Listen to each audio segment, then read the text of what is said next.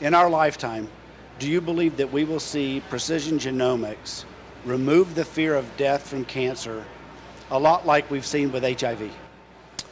I think HIV is a very good analogy.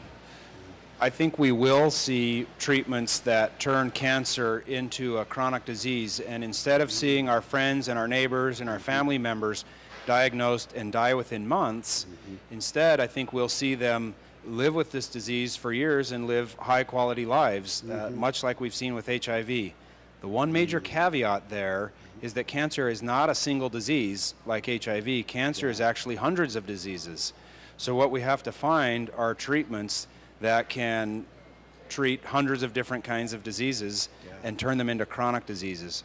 It's a huge challenge, but I think it's possible. I actually think we're right at the very beginning of that right now.